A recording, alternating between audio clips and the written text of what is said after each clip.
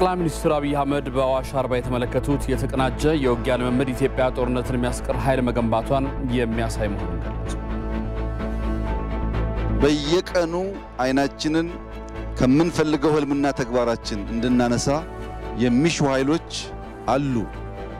በየቀኑ ፍላጎታቸው ኢትዮጵያ እንዳናስቀድም፣ ሰፈር እንድንገባ፣ ትልቁን ያየነውን ነገር እንዳናሳካ፣ የጀመርነውን እንዳንጨርስ፣ ሀገር መጠበቅ፣ መከላከል፣ ውጊያ ማስቀረት የሚችል ኃይል እንዳንገነባ የሚፈልጉ በትናንሽ አጀንዳ ላይ ታጥረን እንድንኖር የሚፈልጉ ኃይሎች አሉ። የጦር መኮንኖች ዋና ተግባር የሚሆነው ጦርነትን የሚያስቀር ኃይል መገንባት ነው። ህብረ ብሔራዊ ወንድማማችነትና እህትማማችነት ለብልጽግና ጉዟችን ስኬት በሚል መሪ ሀሳብ በተለያዩ የአገሪቱ አካባቢዎች ህዝባዊ ውይይቶች መካሄድ ጀምረዋል። የሴኔጋል አርሶ አደሮች በአፍሪካ በተከሰተው ከፍተኛ የምግብ እጥረት ምክንያት ድጋፍ እንዲደረግላቸው ጠይቋል። የአፍሪካ መሪዎች በዳካር በምግብ ዋስትና ላይ መክረዋል። የሚሉት ዋና ዋናዎቹ ናቸው።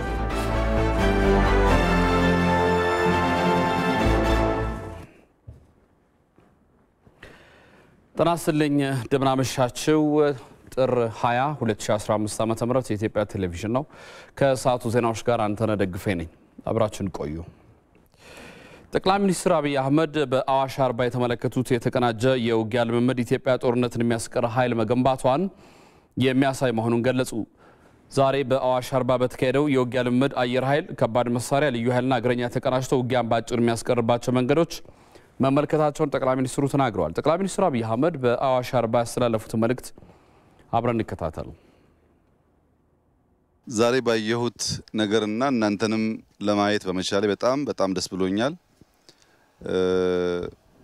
ታስታውሳላችሁ የዛሬ አራት ዓመት ገደማ fourth generation warfare ምን መልክ እንዳለው በ theory ተነጋግረን ነበር። የአየር ኃይል፣ የከባድ መሳሪያ፣ special force፣ elite force ከእግረኛ ጋር ተቀናጅቶ ውጊያን በአጭር ማስቀረት የሚችልባቸውን መንገዶች በ theory ያየናቸውን በጥቂት ዓመታት ውስጥ በአይኔ ለማየት ስላስቻላችሁኝ እጅግ ከፍተኛ ኩራትና ክብር የተሰማኝ መሆኑን በድጋሚ ልገልጽላችሁ እፈልጋለሁ። ዛሬ ያየነው ከአየር ኃይል አንጻር በትንሹ አምስት ገደማ ተግባራት አይተናል። አንደኛው ተግባር ሱ አየር በአየርና ከአየር ወደ ምድር የነበረውን ውጊያ ሲያቀጣጥል አይተናል።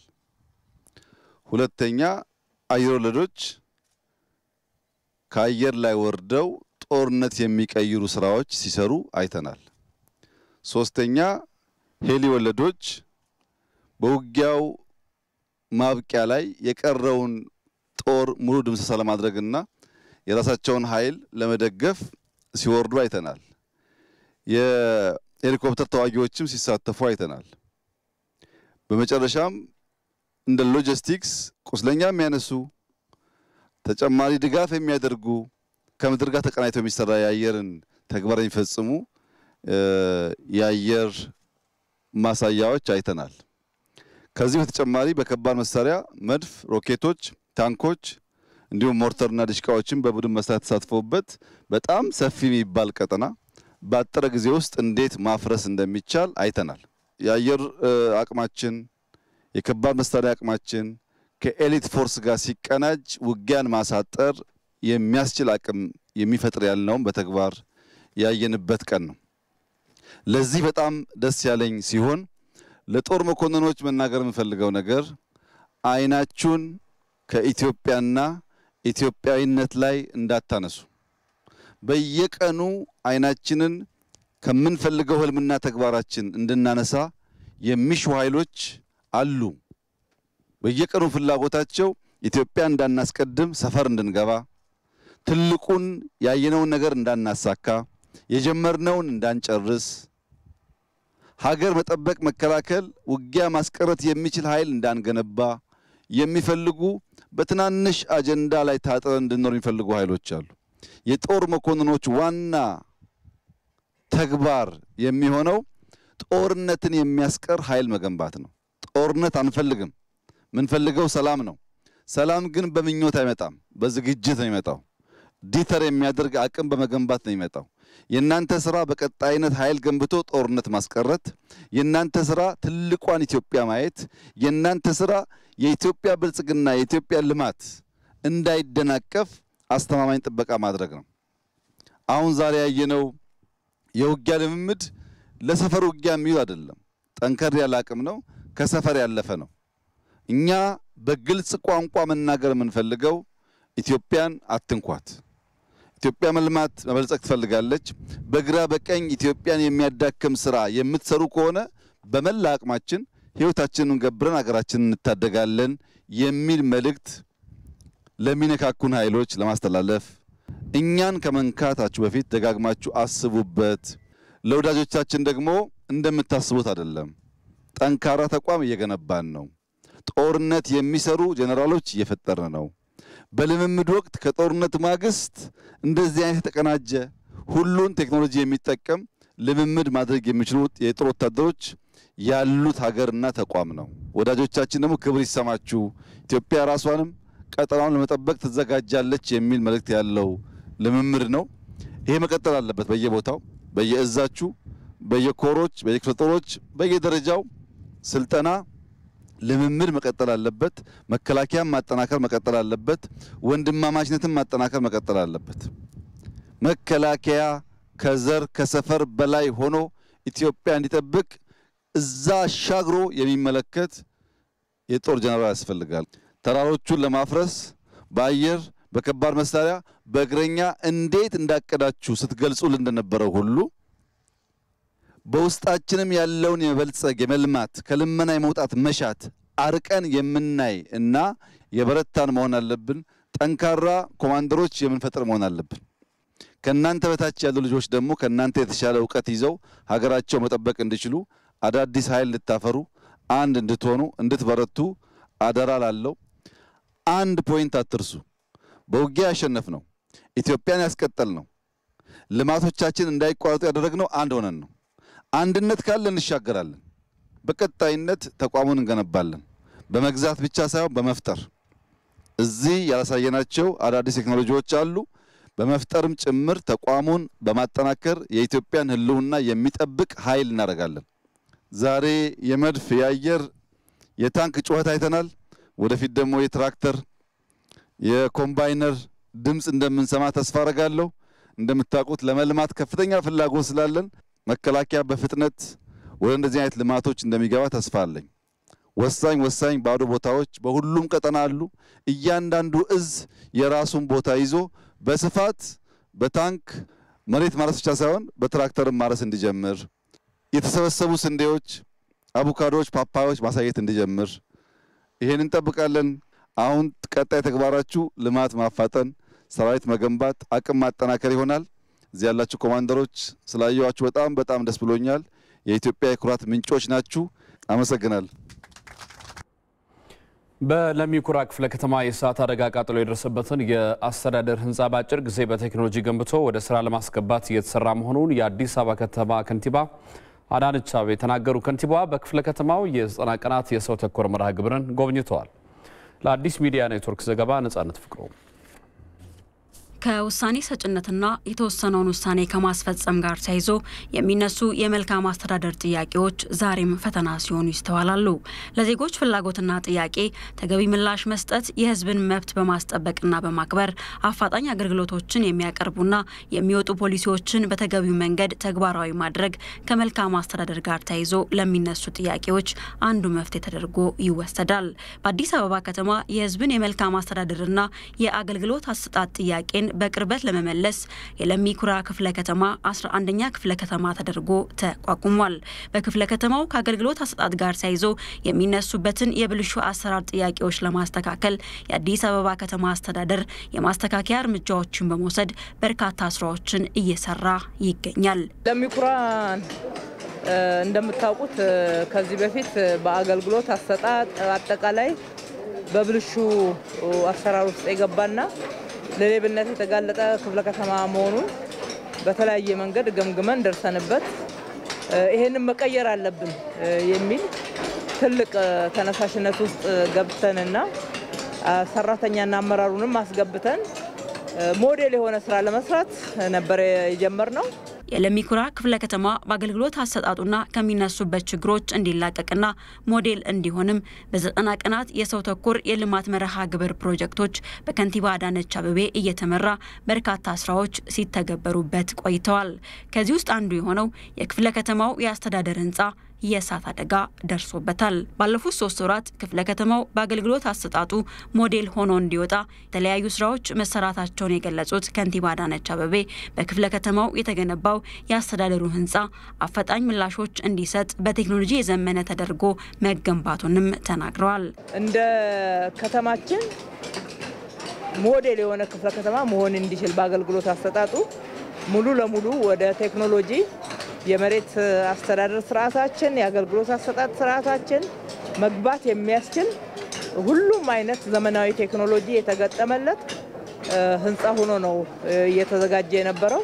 በእሳት አደጋውም 60 ሚሊዮን ብር የሚደርስ የቴክኖሎጂ ግንባታና ወደ 2 ሚሊዮን ብር የሚገመት የህንፃው አካል ላይ ውድመት መድረሱን ነው ከንቲባዋ የገለጹት። እሳቱን መነሻ ፖሊስ ይሄ ነው ብሎ እስካሁን ድረስ ለይቶ የነገረን ነገር ባይኖርም ከውስጥ የተነሳ አይነት እሳት ሊሆን እንደማይችል መረጃዎቻችን እያሳያሉ። አጠቃላይ ግን ከ60 ሚሊዮን ብር በላይ የሚያወጣ የቴክኖሎጂ ስራ እንዲሁም ከሁለት ሚሊዮን ያልተናነሰ የህንፃው አካል ወድሟል። ጉዳት የደረሰበትን ህንፃም በአጭር ጊዜ ውስጥ አድሶና በቴክኖሎጂ ገንብቶ ወደ ስራ ለማስገባት ርብርብ እየተደረገም ነው ብለዋል። በፍጥነት ወደ ቦታው ለመመለስ መልሰን ለመተካት እንደውም ስታንዳርዱን በተሻለ ሁኔታ አድርገን የሌብነት ትግላችንን ለማጠናከር ውጤታማ ስራ ለመስራት ተነሳሽነትን ፈጥሮብናል። በፍጥነት እንጨርሰዋለን። በአደጋው በነዋሪም ሆነ በክፍለ ከተማው ሰነዶችና መረጃዎች ላይ ምንም አይነት ጉዳት አለመድረሱን ከንቲባ አዳነች አቤቤ አረጋግጠዋል። ከመቃጠሉ ሁለት ቀን በፊት በአጠቃላይ ነባር ፋይሎች scan ተደርገው ወደ soft copy ተቀይረው ኮምፒውተሮቹ ላይ ተጭነው እዚህ ሊገቡ ነበረ። በአንዳንድ ጥቃቅን ያላለቁ ስራዎች ምክንያት ይቆይ ተብሎ ሁለት ቀን ተጨማሪ ተሰጥቶ በማግስቱ ሊገባ ሳለ በዋዜማው ነው የተቃጠለው ማለት ነው። ስለዚህ የተቃጠለ ፋይል የለም፣ የጠፋ data የለም። ከንቲባ አዳነች አቤቤ በለሚ ኩራ ክፍለ ከተማ በዘጠና ቀናት የሰው ተኮር የልማት መርሃ ግብር እየተገነቡ ያሉ የመንገድ አካፋይና ዳርቻዎች፣ የአረንጓዴ ልማትና የአቅመ ደካማ መኖሪያ ቤትና ህንፃዎች ግንባታ ያለበትን ደረጃ ተዘዋውረው ጎብኝተዋል። የወጣቶችን ኢኮኖሚያዊ ተጠቃሚነት ለማረጋገጥ የስራ እድል መፍጠር ላይ ትኩረት አድርገው እንደሚሰራ የብልጽግና ፓርቲ ወጣቶች ሊግ አስታወቀም። የአዲስ አበባ ብልጽግና ፓርቲ ወጣቶች ሊግ በሀገር ደረጃ ሲካሄድ በነበረው የሊጉ አንደኛ ጉባኤ ውሳኔዎች ላይ ውይይት አካሂዷል። ዘገባው የአዲስ ሚዲያ ኔትወርክ ነው። አሚር ጌቱ ያቀርበዋል። የብልጽግና ፓርቲ ወጣቶች ሊግ ከታህሳስ 21 ቀን እስከ 25 ድረስ አንደኛ ጉባኤውን ሲያካሂድ መቆየቱ ይታወሳል። ሊጉ በጉባኤው ያሳለፋቸውን ውሳኔዎች አስመልክቶም በ21 ከተሞች ከሊጉ አባላት ጋር ውይይት ተካሂዷል። የወጣቶች ኢኮኖሚያዊ ተጠቃሚነት በሀገር ግንባታና ሰላምን በማረጋገጥ በቀጠናው ትስስር ዙሪያ የወጣቶች ሚናና በሌሎች ጉዳዮች ላይም ትኩረት ሰጥቶ ከተወያየባቸውና ውሳኔ ካሳለፈባቸው ጉዳዮች ዋና ዋናዎቹ ናቸው። የአዲስ አበባ ብልጽግና ፓርቲ ወጣቶች ሊግ የጉባኤውን ውሳኔዎች አስመልክቶ ባካሄደው ውይይት ሊጉ ትኩረት ሰጥቶ ሊሰራባቸው ይገባል የተባሉ ጉዳዮች በአባላቱ ተነስተው ማብራሪያ ተሰጥቶባቸዋል። እኔ ባለሁበት አካባቢ ሰላሳ ሰው ተሰዷል። አሁን በዚህ ወር ውስጥ ሰላሳ ወጣት ተሰዷል። ለመሰደድ የተዘጋጀ ደግሞ ሌላ በርካታ እጥፉናል። ይሄ ለምን ሆነ ስትሉ በስራ አጥ ወጣቱ የሚፈልገው ስራ እድልና መንግስት የሚያመቻቻው ስራ እድሎች አይጣጣሙም። በዚህ ባለመጣጣማቸው ምክንያት ወደ ስራ ማማረጥ ይገባል አንዳንድ ስለዚህ የተሰራው ተሰርቷል፣ ያልተሰራውን አልተሰራም። የጉባኤ ውሳኔው ላይም እንደሰማችሁት አሁን እየሄድንበት ያለው አካሄድ ያለውን አጥ ቁጥር ወደ ስራ ሊያስገባ ስለማይችል አዳዲስ እይታዎች እናያለን። ለወጣቶች ከየወረዳው የሚካተቱበት አንዳንድ ሰውን ቢሆን ቤት አሰጣጥ ነበረ። ይሄ ቢታይ ወጣቱ መካተት አለበት። እናውቃለን፣ ያስፈልገዋል። ለከተማው ወጣት ቤት ትልቅ ሆኖ ቤተሰቡ ጋር ይኖራል። እናንተ መታገል ከሆናችሁ በተለይ መሀል ከተማ አካባቢ ያላችሁ አባላትና አመራሮች እዚያ ካለው አመራር ጋር መታገል ያስፈልጋል። ሊጉ ወጣቱን በተጨባጭ መልኩ በኢኮኖሚ ተጠቃሚ እንዲሆን ለማስቻል በጥናት የተደገፈ ተግባር እንደሚያከናውንም የብልጽግና ፓርቲ ወጣቶች ሊግ ምክትል ፕሬዚዳንት ፈዲላ ቢያ ተናግረዋል። በሀገር ግንባታ ውስጥ በዲሞክራሲ ስርዓት ግንባታ ውስጥ የወጣቶች ሚና ከፍተኛ እንዲሆን እንዲሰራ ነው። በዋናነት እንግዲህ ከስራ እድል ፈጠራ ጋር ተያይዞ አብዛኛው ይመጣል ሪፖርት ሪፖርት ሲመጣ የተጋነነ ሪፖርት ነው የሚመጣው። ወጣቶች ከፍ ያለ ቁጥር የስራ እድል ፈጠራ ተጠቃሚ ሆነዋሉ የሚል ነው የሚመጣው። ያኛው ከዚህ ጉባኤ በኋላ ትልቁ የምንሰራበት ብለን የያዝ ነው ኦዲት ነው የምናደርገው። በትክክል የተባለው የሚመጣው ሪፖርትና መሬት ያለው ወጣቶች ተጠቃሚ ነው ወይ የሚለውን ነገር በደንብ ታች ወርደን ኦዲት አድርገን ያለውን ሁኔታ ለይተን ከዛም በትክክል ደግሞ ወጣቶች በተለይ ከስራ እድል ፈጠራ ጋር ተያይዞ ስራ እንዲፈጠርላቸው የብድር አገልግሎት ማግኘት እንዲችሉ ሊጉ በሀገር አቀፍ ደረጃ ካለው አራት ሚሊዮን የሚጠጋ አባል ውስጥ 174 ሺህ ያህሉ በአዲስ አበባ ከተማ የሚገኙ ናቸው።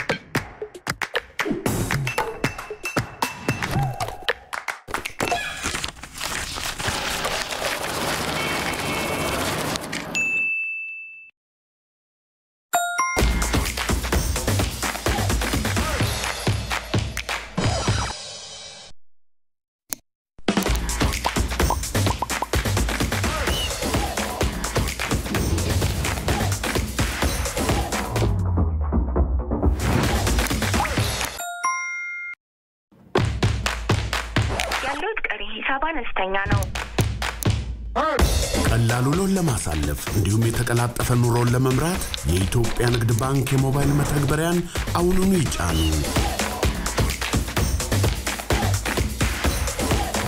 የኢትዮጵያ ንግድ ባንክ ሁሌም የሚተማመኑበት ባንክ። ዜናችን እንደቀጠለ ነው። በኦሮሚያ ክልል በግብርናው ዘርፍ የገበያ ትስስር አለመፍጠርና በአንዳንድ አካባቢዎች የግብዓት እጥረት እንዳለ ተገለጸ።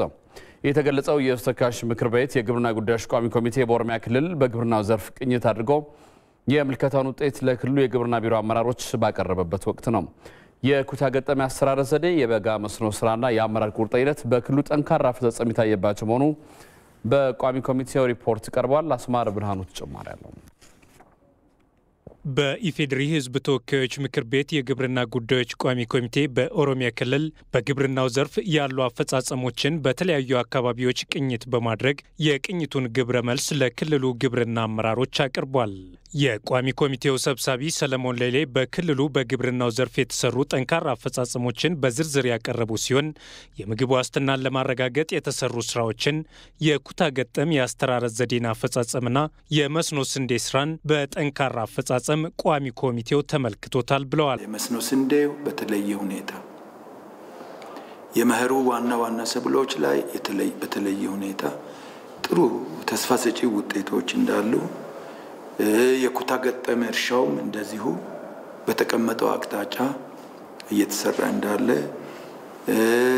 ዘመናዊ ቴክኖሎጂ አርሶ አደሮቻችን በብዛት mechanization እየተጠቀሙ እንዳለ ኮምባይነሮች እንዳላቸው ትራክተሮች እንዳላቸው መውቂያዎች እንዳላቸው ጭምር አይተናል። በአትክልትና ፍራፍሬ ምርቶች ላይ ለአምራች አርሶ አደሩ የገበያ ትስስርን አለመፍጠር በክፍተት የታየ መሆኑ የተነሳ ሲሆን በአንዳንድ አካባቢዎችም የግብአት እጥረቶች ተስተውለዋል ተብሏል። በቋሚ ኮሚቴው ሪፖርት ገበያ ትስስር እናንተ የምታውቁት ነው። እኛም እንደ መንግስትም እንደ ሀገር መንግስትም ሪፖርት እናደርጋለን። ትኩረት መሰጠት አለበት። ከ28 እስከ 34 ብር እየሸጥን ነው። ኤክስፖርት ስናደርግ ራሱ እየተጎዳን ነው። በአካባቢ ግን አርባ ብር ሀምሳ ብር አንድ ኪሎ ግራም ይሸጣል እና ኤክስፖርት ሲደረግ ለሀገር ገቢ ጥሩ ነው፣ ግን እኛ እየተጎዳን ነው። ለዶላር ጥሩ ሆኖ እኛ እየተጎዳን ነው የሚል በጣም wise የሆነ አስተያየት ነው የሰጡትና እዚህ ላይም ተባብረን መስራት ይገባል የሚል ነው።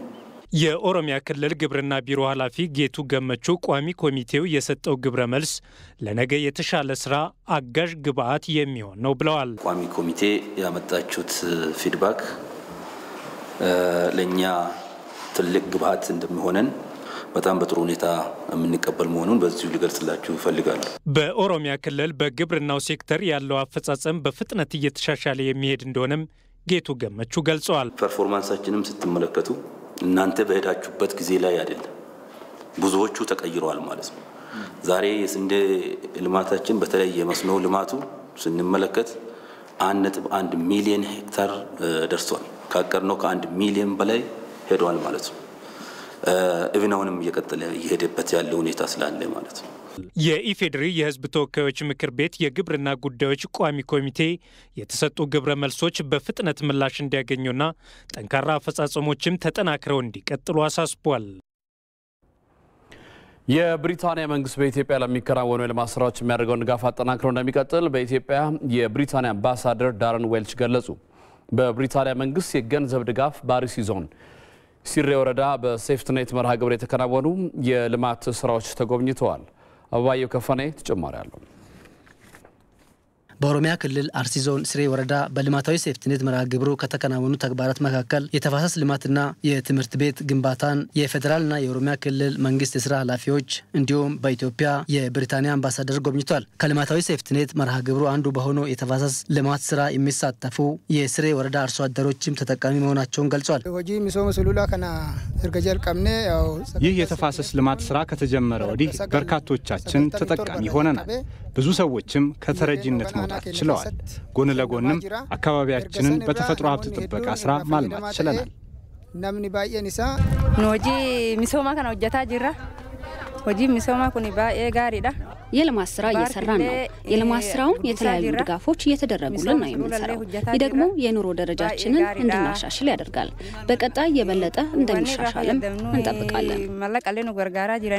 የልማታዊ ሴፍትኔት መርሃ ግብሩ በኦሮሚያ ክልል የተለያዩ ዞኖች ተግባራዊ እየተደረገ የሚገኝ ሲሆን በአርሲ ዞን ብቻ ከመቶ ሺህ በላይ ሰዎች ተጠቃሚ መሆናቸው ተገልጿል። የኢትዮጵያና የብሪታንያ ግንኙነት ረዥም ዘመናትን ያስቆጠረ መሆኑን በኢትዮጵያ የብሪታንያ አምባሳደር ዳሬን ዌልች ገልጾ በሴፍትኔትም በሌሎች የልማት ስራዎችም አገራቸው ለኢትዮጵያ ድጋፏን አጠናክራ ትቀጥላለች ብሏል። The United Kingdom is a long-standing friend of the people of Ethiopia. We have a strong partnership. ብሪታንያ የረጅም ጊዜ የኢትዮጵያ ወዳጅ ሀገር ናት። ለብዙ ዓመታት የቀጠለ አጋርነትም አለ። እዚህ ያየነውም የጠንካራ ግንኙነታችን ማሳያ የሆነ ስራ ነው። ኢትዮጵያ ፈጣን እድገት እያስመዘገበች ትገኛለች። ይህ እድገት እንዲቀጥል የብሪታንያ መንግስት ያልተቆጠበ ድጋፉን አጠናክሮ ይቀጥላል።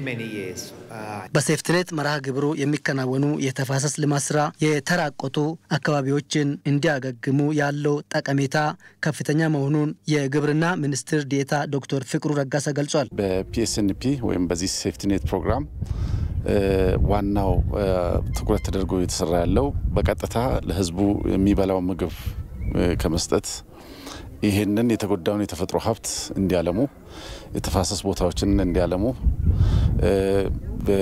የተራቆቱ ቦታዎች መልሰው በደን እንዲሸፈኑ ማድረግ ነው። እንግዲህ እነኚህ የተጎዱ ቦታዎች ሲለሙ የመሬቱ ለምነትም ይጨምራል። የብሪታንያ መንግስት ለኢትዮጵያ እድገት እያደረገ ያለው ድጋፍ የሚደነቅ ነው ያሉት ደግሞ የኢፌዴሪ ገንዘብ ሚኒስትር ዴታ ሳማሪታ ሰዋሰው ናቸው። ኢትዮጵያ highly appreciates the relations, the long-standing relations we have the United Kingdom. ኢትዮጵያ ከብሪታንያ ጋር ያላትን የረጅም ጊዜ ግንኙነት ታደንቃለች። እንደ ገንዘብ ሚኒስቴርም ትልቅ ቦታ የምሰጠው ነው። በትብብር ከምንሰራባቸው መስኮች መካከል ይህ የሴፍቲኔት መርሃ ግብር አንዱ ነው።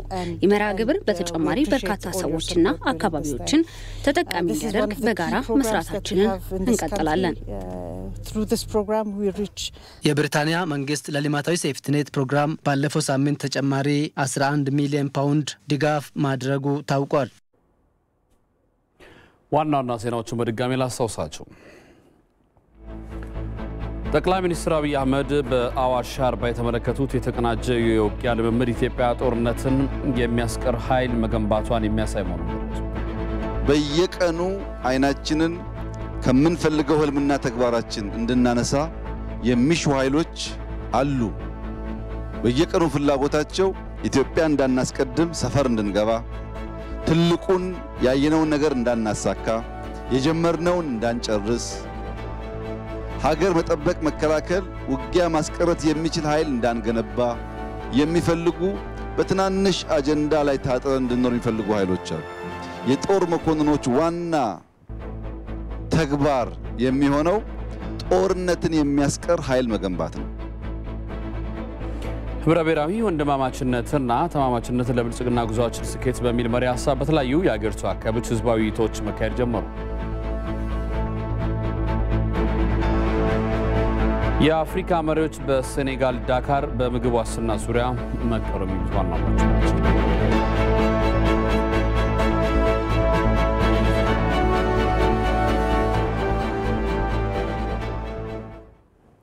ዜናችን ይቀጥላል። አብራችኑ ነው። የጌዲዮ ማህበረሰብ በአካባቢ ጥበቃ የሚያከናውናቸውን ውጤታማ ስራዎች በዩኔስኮ እውቅና እንዲሰጣቸው ለማስቻል የተጀመሩ ስራዎች ተጠናቀው ምላሽ እየጠበቁ መሆኑን ተገለጸ። የጌዲዮ ብሔር ዘመን መለወጫ በዓል ደራሮ ተከብሯል። አሚር ጌቱ ጭማሪ አለው።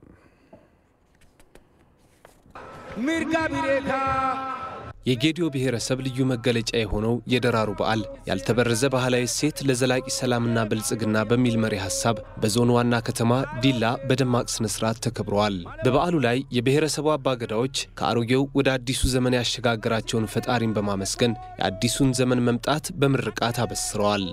ኮጃናዮ ገዳቢቦም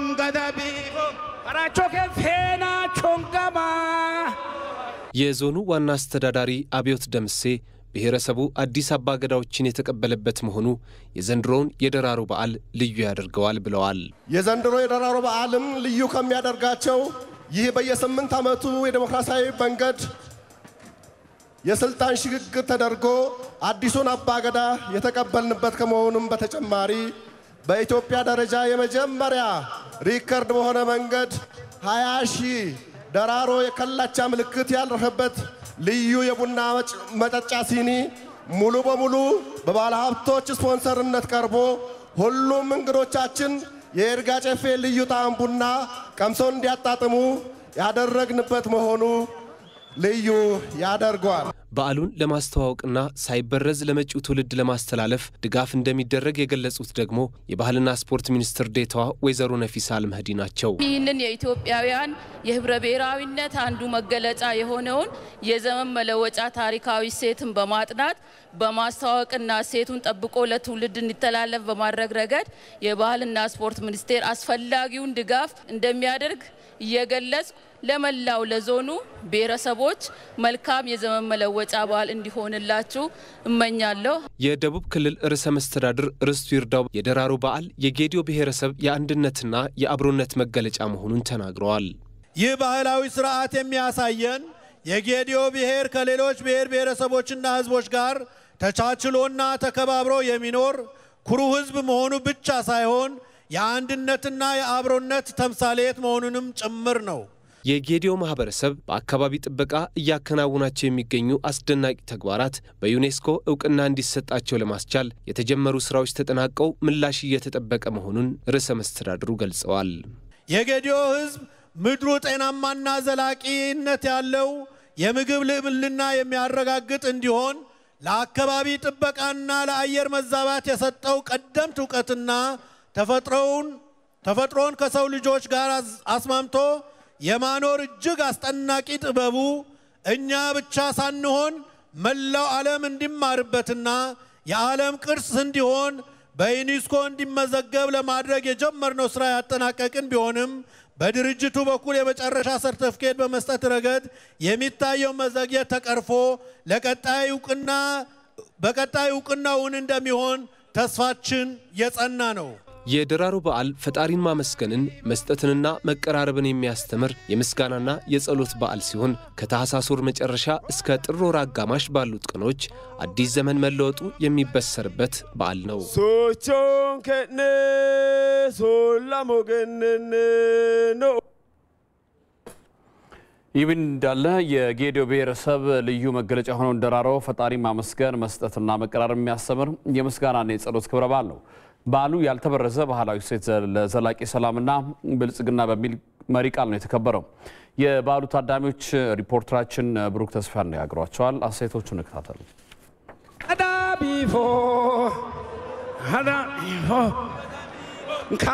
አገንጌኮ ደራሮ በገዶ ብሔር ጥንት መከበር የጀመረና ምርት በሚሰበሰብበት ጊዜ አዲስ ዓመትም እንደገና ደግሞ ምርት በሚሰበሰብበት ጊዜ የሚከበር ለፈጣሪ ምስጋና የሚሰጥበት ለስርዓቱ መሪ ደግሞ ስጦታ ድጎማ የሚሰበሰብበት እና የሚለገብስበት በዓል ነው።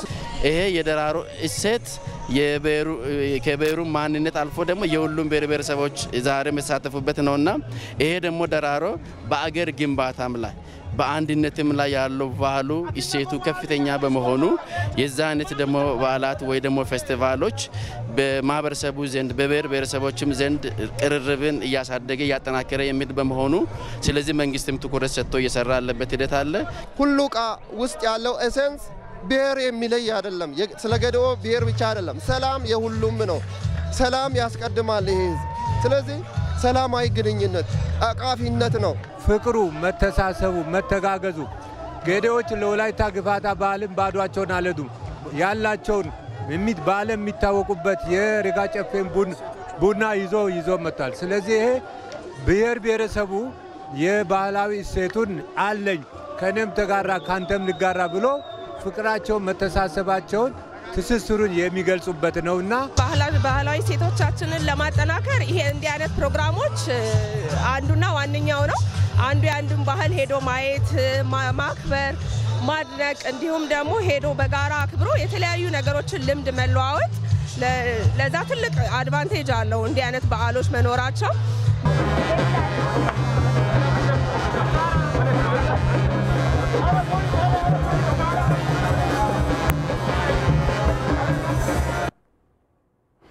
ህብረ ብሔራዊ ወንድማማችነትና ተማማችነት ለብልጽግና ጉዟችን ስኬት በሚል መሪ ሀሳብ በተለያዩ የአገሪቱ አካባቢዎች ህዝባዊ ውይይቶች እየተካሄዱ ነው። በሁሉም የውይይት መድረኮች ላይ የፌዴራልና የክልል የስራ ኃላፊዎች እየተሳተፉም ይገኛሉ። መረጃው የኢትዮጵያ ዜና አገልግሎት ነው። ሜሮ ምትኩ ታቀርበዋለች። ህብረ ብሔራዊ ወንድማማችነትና እህታማችነት ለብልጽግና ጉዟችን ስኬት በሚል መሪ ሀሳብ በሀገራዊ ወቅታዊ ጉዳዮች ዙሪያ የተዘጋጀ የውይይት መድረክ በአዳማ፣ በሐዋሳ፣ በጋምቤላ፣ በጅግጅጋ፣ በአሶሳ፣ በድሬዳዋ፣ በሐረር፣ በቢሾፍቱ፣ በጅማና ሻሸመኔ ከተሞች እየተካሄደ ነው። በአሶሳ ከተማ የውይይት መድረክ ላይ የቤንሻንጉል ጉሙዝ ክልል ርዕሰ መስተዳደር አቶ አሻድሊ ሀሰን እንዳሉት ሀገራዊ ለውጡ ካስገኛቸው ውጤቶች አንዱና ዋነኛው የክልሉ ህዝቦች በሀገራዊ ጉዳዮች እኩል መሳተፋቸው ነው። የክልሉ መንግስት አቅሙ የፈቀደውን ሁሉ የልማትና የመልካም አስተዳደር ተግባራት ለማስፋፋት ጥረት እያደረገ መሆኑን አስታውቀዋል። ጽንፈኛ አሁንም አለ፣ ውስጣችንም አለ። አገር ለማፍረስ የሚፈልግ አለ። የክቡር ጠቅላይ ሚኒስትራችን ስራዎች ለማጣጣል የሚፈልግ ጽንፈኛ አለ። የክልሎችን ስራ ለማጣጣል የሚፈልግ ጽንፈኞች አሉ። ይሄ ጥሩ ስራ ማጣመም ይፈልጋሉ። ስለዚህ ከዚህ አኳያ እነዚህ ጽንፈኞች የእነዚህ መድረኮች ዋና ዓላማ ጽንፈኛ ቦታ እንዳያገኝ በሀገራችን ውስጥ ቦታ ማግኘት የለበትም። የጀመርነው ለውጥ ወደ መቀልበስ የለበትም። ወደ ኋላ መመለስ የለበትም። ህዝብ ነው የሚጠብቀው ለውጡ። ሀገራዊ ወቅታዊ ውይይቱ በሐረር ከተማም የተካሄደ ሲሆን በሐረሪ ክልል ሰላምን በማጠናከር የህግ የበላይነትን የማረጋገጡ ስራ ተጠናክሮ መቀጠሉን የክልሉ ርዕሰ መስተዳደር አቶ ኦርዲን በድሪ አስታውቀዋል። ለወጣቶች ትኩረት ሰጥቶ መስራት የግድ ይላል። በወጣቶች ላይ ያልሰራ ስርዓት ቀጣይነት ሊኖረው አይችልም። ሸንኮር ላይ በጣም የተደራጀ የወጣት ማዕከል በብዙ በጀት እየሰራ ያለ ነው። ትልቁ ችግር ምንድን ነው ካላችሁኝ፣ የወጣት ማዕከሎች አለመኖር ሳይሆን የወጣት ማዕከሎችን የሚጠቀም ወጣት አለመኖር ነው። ከስራ ዕድል ፈጠራ ጋር ያለውን ሁኔታ በአግባቡ ማየትና ወጣቱ ስራ ሰርቶ ገቢ እንዲያገኝ ማድረግ ያስፈልጋል። ተደራጅቶ ስልጠና ወስዶ የብድር አቅርቦት ተመቻችቶለት የስራ ዕድል ፈጠራ እንዲመቻችለት ማድረግ ያስፈልጋል። እዛ ላይ ስራ እንሰራለን። ሀገራዊ ለውጡ እስካሁን ያለበት ደረጃ የተገኙ ውጤቶችና እያጋጠሙ ያሉ ችግሮች ላይ ያተኮረው ሀገራዊ የውይይት መድረክ በሸገር ከተማም ተካሂዷል። በምክትል ፕሬዝዳንትነት ማዕረግ የኦሮሚያ የገቢዎች ቢሮ ኃላፊ መስከረም ደበበ በዚህ ጊዜ ባስተላለፉት መልእክት ህብረ ብሔራዊ አንድነትን በማጠናከር የሀገር ብልጽግናን እውን ለማድረግ በሚደረገው ጥረት የሁሉም ተሳትፎ ወሳኝ መሆኑን ገልጸዋል። በመሆኑም በኢትዮጵያ ሁለንተናዊ የልማትና የሰላም ግንባታ ስራዎች ላይ አደናቃፊ የሆኑ ጽንፈኛና ጸረ ሰላም ኃይሎችን በጋራ በመታገል ሂደት የህብረተሰቡ ተሳትፎና ትብብር ይበልጥ ተጠናክሮ እንዲቀጥልም ጠይቀዋል። ከለውጡ ማግስት ያጋጠሙንን ፈተናዎችና ፈተናዎቹን ያለፍንባቸውና ያስመዘገብናቸው እድሎች ተነስተዋል። በሁለተኛ ደረጃ በአሁኑ ወቅት ያጋጠመን ከፍተኛ የሆነ የጽንፈኝነት አደጋን በውል ተረድቶ ይህንንም መስመር ከማስያዝ አንጻር ተሳታፊው ወይም ህዝቡ የሚኖረውን ሚና በአግባቡ ማስጨበጥ ነው። በሶስተኛ ደረጃ እንደ ግብ ያየነው የሰሜኑን ጦርነት በሰላማዊ ሁኔታ ለመፍታት የተደረገ ጥረትና እስካሁንም ደግሞ የታዩ በጎ ጅምሮች እንዲቀጥሉ በአዎንታ የራሱን ድርሻ ህዝቡ እንዲወጣ ነው። በአራተኛ ምናልባት የሸኔና መሰል ኃይሎች ሀገራችንን ሰላም ከመንሳት አንጻር ያደረሱት ጉዳትና እንደ መንግስት ደግሞ እየተወሰዱ ያሉ እርምጃዎችን በግልጽ ማንሳት፣ በዚህም ላይ ደግሞ ህዝቡ የራሱን ድርሻ እንዲወጣ ተልኮ መስጠት ነው። በዛሬው ዕለት የተካሄደው የህዝብ መድረክም ህብረተሰቡ የሚያነሷቸውን ጥያቄዎች ለመመለስና ችግሮችን በጋራ ለመፍታት እንዲሁም በትብብር መስራትን ለማጠናከር ያለመ መሆኑ ተገልጿል።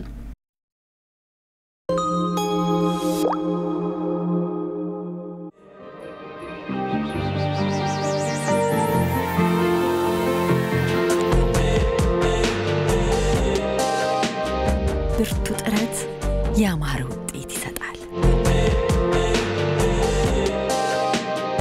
ለሚወዱት ነገር መጽናት ደስታን ያጎናጽፋል።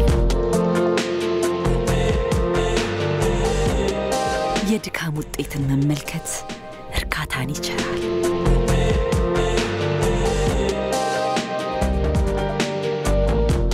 ብሩህ ተስፋን ለሰነቁ ብርታት ሆነናል። ከአንድ ክፍለ ዘመን በላይ ለስኬት ከተጉት ጋር አብረን ቆመናል።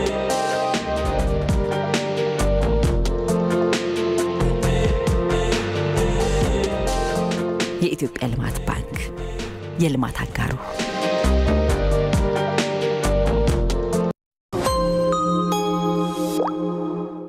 የውጭ ዜና የአፍሪካ መሪዎች በዳካር ተሰብስበው በምግብ ዋስትና ላይ መክረዋል። የሴኔጋል አርሶ አደሮች በአፍሪካ በተከሰተው ከፍተኛ የምግብ እጥረት ምክንያት ድጋፍ እንዲደረግላቸውም ጠይቀዋል። ዳንኤል ብዙአየሁ ተጨማሪ አለው። የሩሲያና ዩክሬን ጦርነትን ተከትሎ በአነስተኛ መሬት ላይ የሚያመርቱ የአፍሪካ አርሶ አደሮች በማዳበሪያ ዋጋ መናርና በአካባቢ አየር ንብረት ለውጥ ከፍተኛ ጉዳት ደርሶባቸዋል። በምዕራብ ሴኔጋል የሚገኙ አርሶ አደሮች ጠንክረው በመስራት 80 በመቶ የሚሆነውን ከሰሃራ በታች ያሉ ሀገራትን የምግብ አቅርቦት እየሸፈኑ ቢቆዩም አሁን ላይ ግን በማዳበሪያ ዋጋ መናር መቸገራቸውን ይናገራሉ። ለግብርና የሚሆን ካፒታል ማግኘት አስቸጋሪ ነው። ፍላጎት ቢጨምርም የአቅርቦት እጥረት አለ።